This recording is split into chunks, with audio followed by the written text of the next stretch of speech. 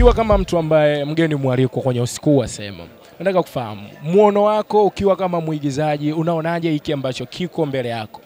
Ah, cha kwanza naona ni kitu kikubwa na kizuri pia. Unajua inatakiwa industry ya filamu kila siku ina matukio mapya, tuwe na filamu mpya na tuonyeshe tumekuwa.